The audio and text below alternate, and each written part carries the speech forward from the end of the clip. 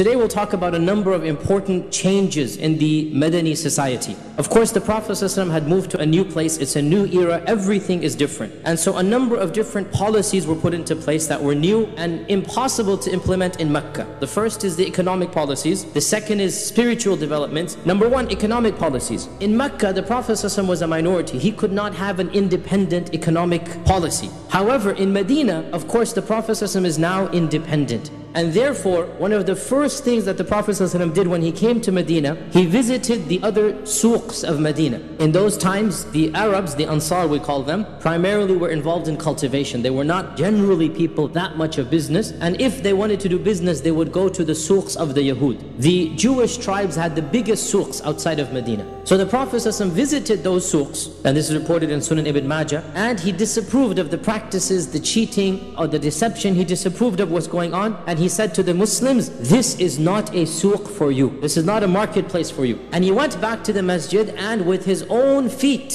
he demarcated lines in the sand. He literally put a line and then another and another and he said, this shall be your souq. And he instituted a souq towards the west of the masjid. And he said, this shall be your souq, so let it not be diminished and let no one tax the people in it. What new policies did the Prophet ﷺ bring? This is many different books and many different topics can be written. As you all know, he banned the practice of interest. Well, one of the most important things he did, he linked buying and trading to religiosity, to spirituality. He praised honesty and he criticized dishonesty. And he said that the righteous businessman will be blessed on the day of judgment. He said that those who cheat and lie is not of us. And then, of course, he also demanded a certain code of conduct. For example, the Prophet ﷺ forbade cheating and lying, swearing false oaths. He forbade hiding defects and he used to monitor himself. He would walk in the souqs that he instituted. And he once found the famous hadith in Bukhari. He found a date seller who had good quality dates at the top of the bag.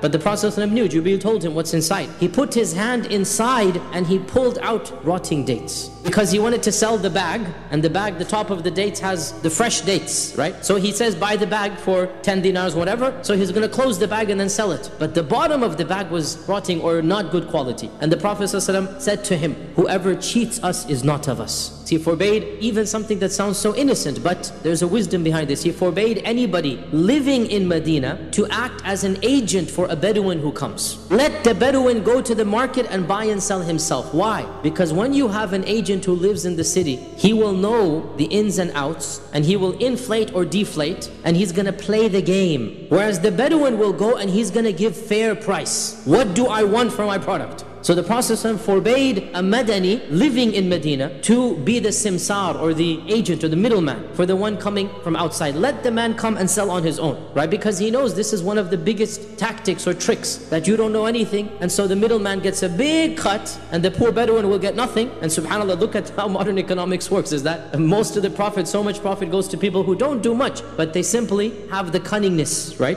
And the Prophet forbade this. Very early on, the Prophet rejected the aswaq that were there and he established his own souq with his own Islamic, of course, Islamic Sharia, of course, being fulfilled there. And of course, this souq flourished and therefore, when the Jewish tribes were expelled one by one and their souqs obviously collapsed, by the time they were expelled, they didn't care about them because they had their own independent souq up and running. So, financial independence, the Prophet stressed it from day one. Such that when other economies collapsed, it didn't affect the economy of Medina.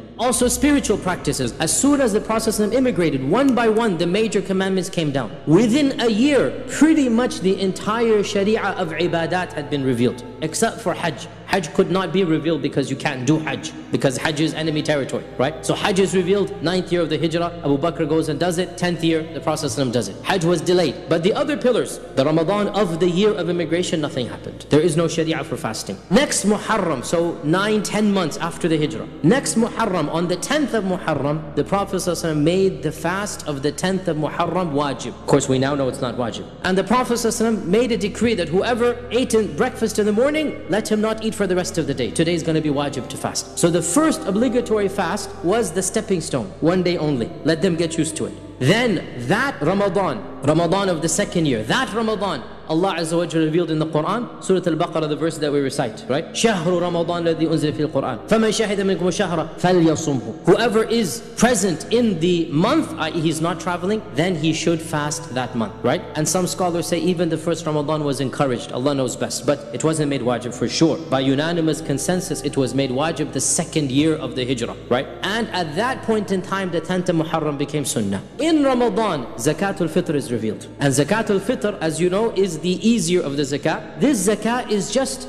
a food right? One person's food, which is a happy meal or something like this that you get. Whatever as an average meal you can get it, right? You give it to a person. This is what the zakat al-fitr is. Again, to make them used to the concept of zakat. Within a few months, the same year, zakat came down. Zakat al-mal, right? So from zakat al-fitr, then zakat al-mal, right? So they're getting used to it. And obviously, at this point in time, of course, the basic rulings of the salah are now perfected. The Prophet said, pray as you have seen me pray. In Mecca, all of the salah were two rak'at. We said when he moved to Medina, then Dhuhr and Asr and Maghrib and Isha were all extended and only Fajr remained two rakat. How you do it, how you do Tahara, how you do wudu, the laws of Janaba and Ghusl, all of this came down within these first two years, i.e. by the time the second Ramadan finishes, all of these laws have been ordained. But again, realize a lot is happening in Medina.